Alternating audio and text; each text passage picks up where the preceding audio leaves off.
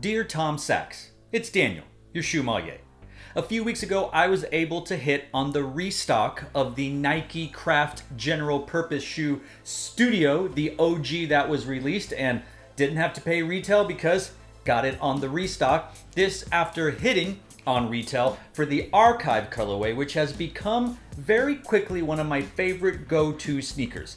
And I'm here today to ask you, which probably you already have this in mind, but either way, I've got to say, please release the general purpose shoe in all of the colorways. And when I say all of the colorways, I mean literally every colorway you can think of. Do it. Release it in the shoe.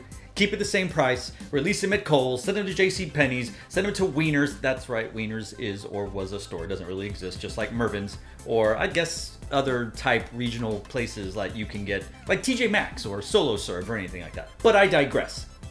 I'm not the first to say this, probably won't be the last, but I really feel like the general purpose shoe could become something akin to a Stan Smith or a Samba or an Air Force One or a Roshe or any other shoe that you can find pretty much anywhere you go to a sneaker boutique, a, a Footaction type place, you go to an academy, you go to a Kohl's, you go to something like that. I know that this has got some hype because it has the Tom Sachs name behind it, but I really feel like this could become almost a dad type shoe or a kid type shoe or anybody type shoe for, well, general purposes. Go to the grocery store, pull out the shoe. Walking the dog, pull out the shoe. Barbecuing, pull out the shoe. Playing some sports out in the neighborhoods with your friends or with other dads or moms or kids or throwing the old apple around in the front yard, pull out the GPS. I know that we have said for years that New Balance is the shoe that people mow their lawn with, or the dads go out and they work on their cars, or they, they go out and they grill or anything like that.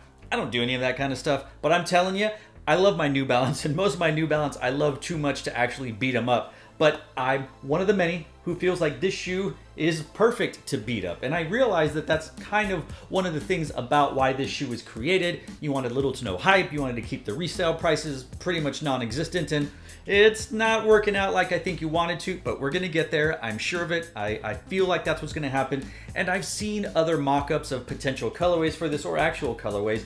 And I'm just here to say, you don't even have to release the Mars Yard colorway, which I'm sure if and when you do, it will be the most highly sought after GPS shoe because, hey, why not? And I'm sure Nike's going like, can you do it? Tom, please, please, please. It would blow up and be crazy.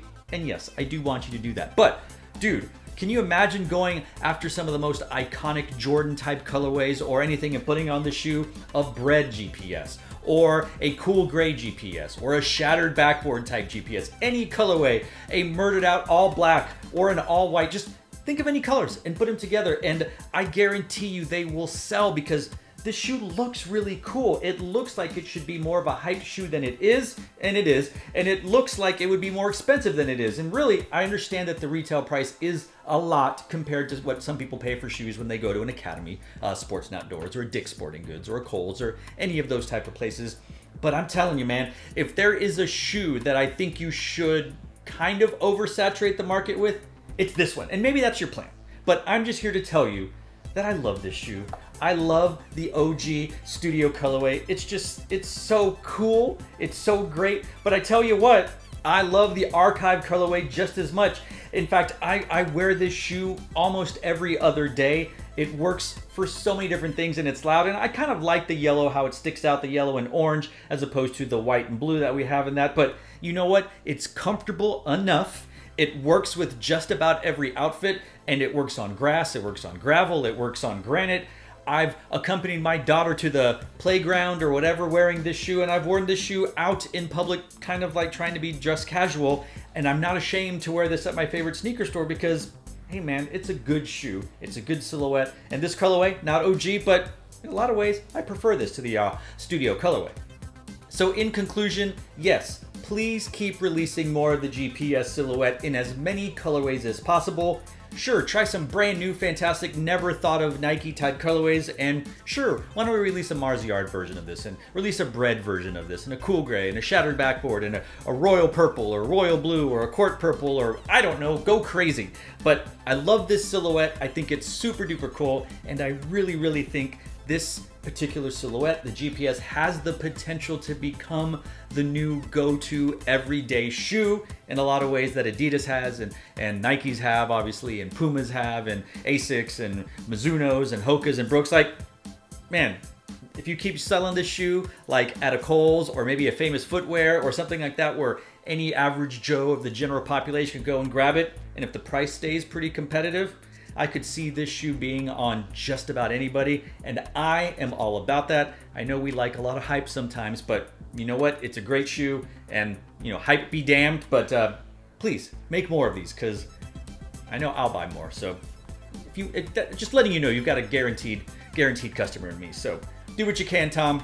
Can I call you Tom? Tommy? Is Tommy okay? Mr. Mr. Sachs? Uh, Mr. Tom Sachs? Please release more of these because these are great.